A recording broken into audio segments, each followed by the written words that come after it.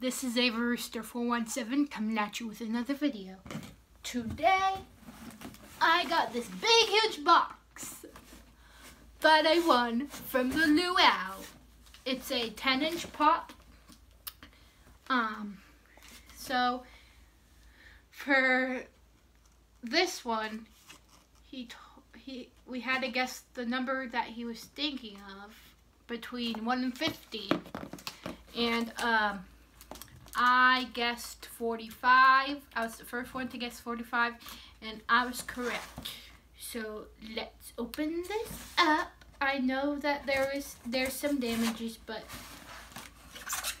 um, I don't care. I like this pop. Either way.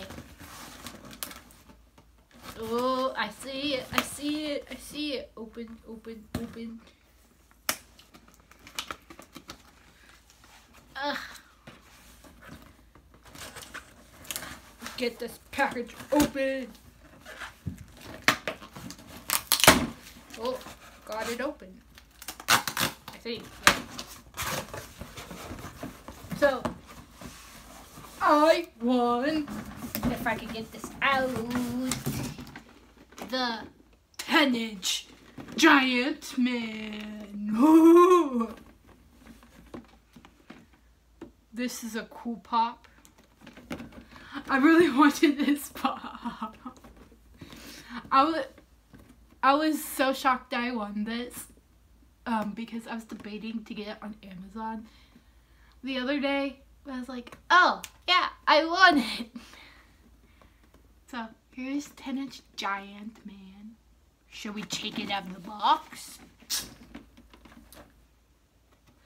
I want to keep him in the box, but I want to take it out at the same time. Okay, let's bear this. Ugh, I don't like taking 10 inch pops out of the box. But I'm gonna do it for you guys, because why not? To see the detail. Oh.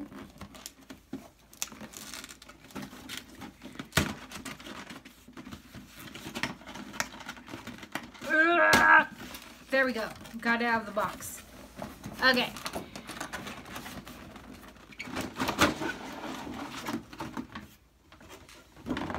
Oh my god. Oh, oh my god. He is super cool.